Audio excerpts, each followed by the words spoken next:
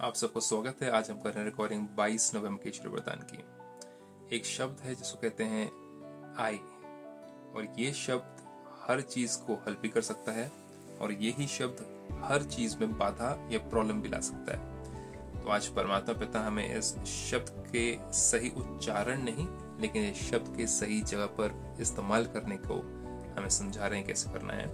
तो देखें, मैं शब्द या आई शब्द को किस तरीके से इस्तेमाल किया जा सकता है? परमात्मा कहते हैं, मैं शब्द की स्मृति द्वारा अपने ओरिजिनल स्वरूप में स्थित होने वाले मैं शब्द की स्मृति द्वारा दिन भर हम मैं मैं मैं मैं कहते रहते हैं। हर चीज़ के लिए मैंने ऐसा किया, मैंने ये सोचा है, मेरे हिसाब से ये करो, मैं जाऊँगा, मैंने करना है, मुझे पता है। स्वरूप ओरिजिनल स्वरूप में स्थित होने वाले देह के बंधन से मुक्त हुआ। तो मैं शब्द की स्मृति द्वारा अपने ओरिजिनल स्वरूप में स्थित होने वाले देह के बंधन से मुक्त भवा तो हमारा ओरिजिनल स्वरूप क्या है? जैसे मैं बोलते हैं तो ये फ़िज़िकल फॉर्म याद आती है। लेकिन परमात्मा हमें स्पिरिचुअल फॉर्म की याद दिलाते हैं कि इस फ़िज़िकल फॉर्म को तुम लिमिटेड जानते हो, लेकिन एक इन्फानाइट बेहद की नॉन फ़िज़िकल फॉर्म है, जिसको हम सोल कहें या आत्मा कहें। वो अगर उसको मैं माने तो बहुत फ़ायदे हो जाते हैं। तो देखें क्या क्या फ़ायदे हैं, थोड़े फ़ायदे भी काउंट करेंगे यहाँ पर और सब हमें दूसरी तरफ़ से अगर हम शरीर मांगने चले मैं को तो उसका नुकसान क्या होता है।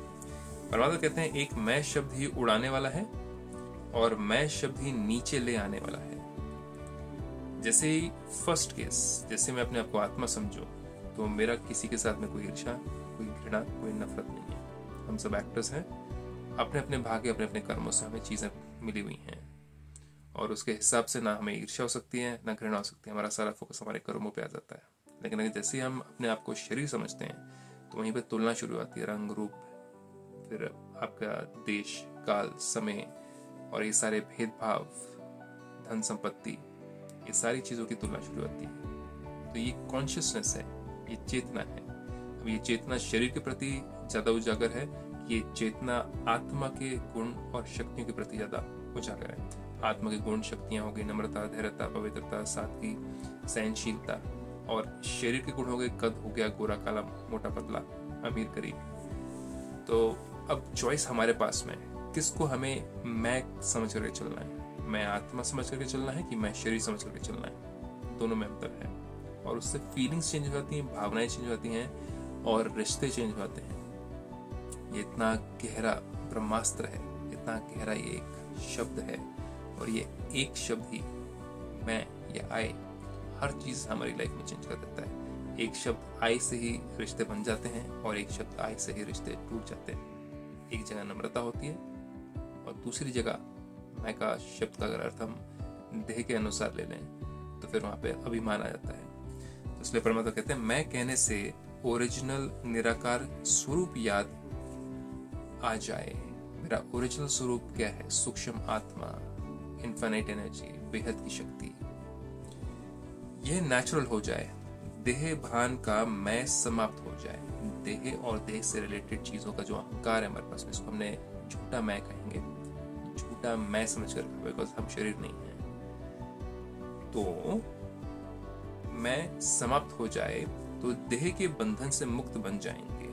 ज़्यादातर झगड़े, ज़्यादातर लड़ाइयाँ, ज़्यादातर बहसबाजी क्यों होती है? क्योंकि हमें अहंकार होता है। हम सूक्ष्म में अगर देखें तो हम लिमिटेड चीज़ों के पीछे हम आपस में झगड़ा करते हैं, आपस में तू तुम्हें में करते हैं।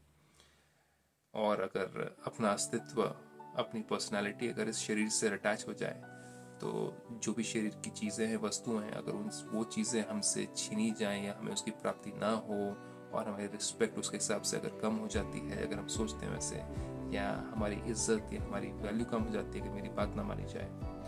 क्योंकि मेरे पास इतनी क्वालिफिकेशन है, मेरे पास में इतने सारे एक्लेट्स हैं, इतने एक्सपीरियंस है, वो मैं मैं मैं ही करके क्या करता है? संबंधों को खत्म कर देता है। तो इसलिए परमात्मा कहते हैं कि वो देह के बंधन बन जाते हैं। बंधन कैसे बन जाते हैं? हम अहंकार में आकर जिसको हम कुछ कह देते हैं, उल्टा सीधा, वो हमारे बारे में सोचता रहता है पूरे दिन भर या महीने भर या सालों भर, और हम उसके बारे में सोचते रहते हैं। चाहे वो भाई भाई हो भाई बहन हो, चाहे रिश्तेदार हो, चाहे कोई भी और वो इच्छा बैठ जाती है, वो अहंकार के कारण, वो क्रोध के कारण, वो बंधन बन गया। क्यों? हम फोकस नहीं कर पा रहे अपने काम पर, वो व्यक्ति याद याद आ रहा तो वो व्यक्ति जैसे याद आया, वो बंधन है। एनर्जी हमारी फोकस होनी चाहिए उस काम पर। जहाँ पर हमें आज जीना है खुशी खुशी लेकिन किसी को दुख देंगे तो परमात्मा कहते हैं, वो दुख वापस आता है। वो दुख हमारे अंदर रह जाता है क्योंकि जनरेट हमारे मन के अंदर हुआ तभी तो किसी को दिया हमने। तो मैं बहुत ही क्षति पहुंचाता है।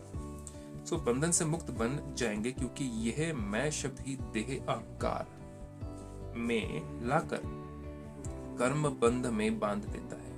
बंधन हो गया ना? उसने आपको कुछ कहा, आपने कुछ कहा अहंकार में आकर के। और फिर वो आपको ताने मारे, आपने उसको ताने मारे।